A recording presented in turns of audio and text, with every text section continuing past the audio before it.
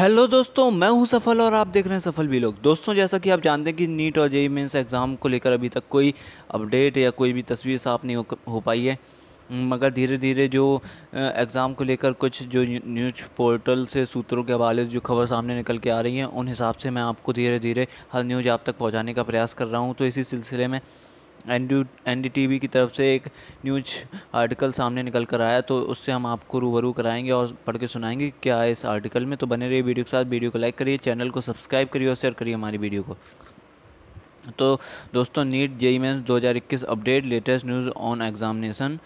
So, we are going to discuss the education minister is likely to postpone NEET 2001 till September and hold the pending JEE Mains 2021 term in August according to a report NEET as per official information is scheduled for August 1 but the National Testing Agency इसको बोलते हैं NTA is yet to start registration IIT Kharagpur has released the JEE Mains voucher but new date for examination has not been announced.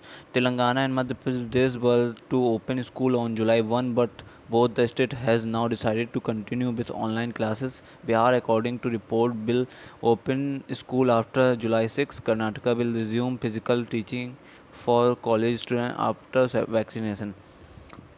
तो दोस्तों, इन सब जो news को समाप्त करके आपको कहा जाए तो जेई मेंस और नीट की एग्ज़ामिनेशन की जो तारीख हैं, वो बहुत जल्दी आ सकती हैं और नीट का जो